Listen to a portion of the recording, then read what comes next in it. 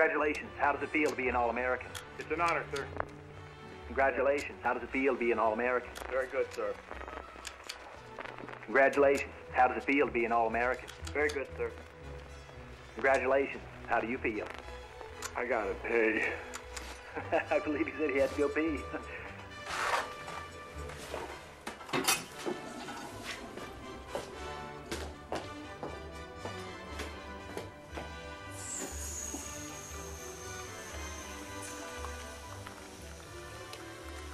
Sometime later, for no particular reason, somebody shot that nice young president when he was riding in his car.